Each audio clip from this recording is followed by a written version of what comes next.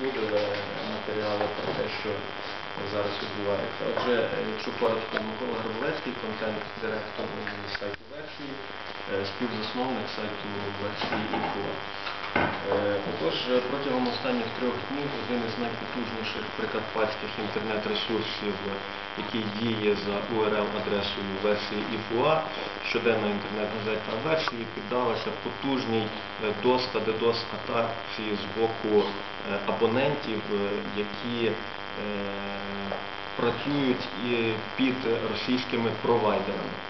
Е, Доказом е, цьому є е, дані журналу обліку е, IP-звернень на сайт версії, надані хостинговою компанією Ukraine.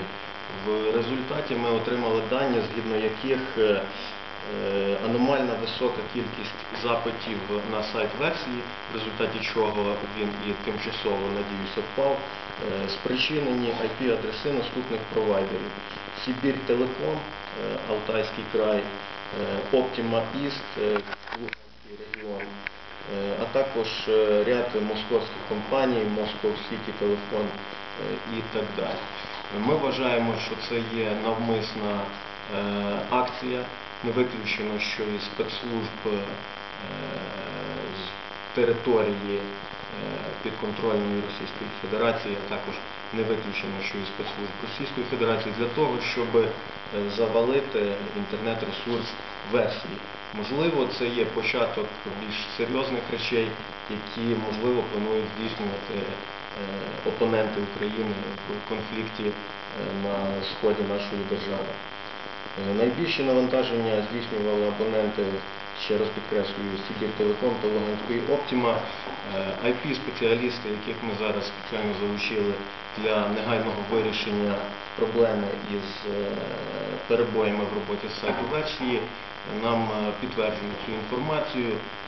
Вони е, деталізують, що з відповідних IP-адрес здійснюються мільйонні е, запити на URL-адресу версій, завдяки чому сервери е, не витримують і сайт припиняє свою роботу. Такі методи традиційно використовуються е, російськими і не тільки хакерами для того, щоб паралізувати роботу е, сайтів, е, які їм не подобаються або е, які замовили. Ми вважаємо, що це є е, однозначно замовлення звертаємося до відповідних структур, зокрема і Служби безпеки України, з проханням е, допомогти нам, по-перше, а по-друге, звернути увагу на те, що українські, західноукраїнські е, потужні сайти е, піддаються атакам хакерів, по суті, і найімовірніше російських або проросійських.